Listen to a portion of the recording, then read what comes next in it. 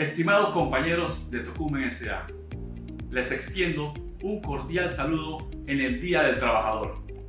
Resalto esta fecha de manera especial porque gracias a su esfuerzo reactivamos nuestras operaciones y servicios, haciendo aportes claves a la recuperación económica de nuestro país.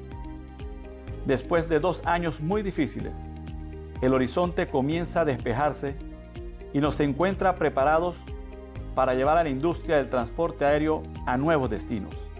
Pronto abriremos totalmente la Terminal 2, que nos confirmará como el principal hub de la región y además de ser uno de los aeropuertos más seguros y puntuales del mundo.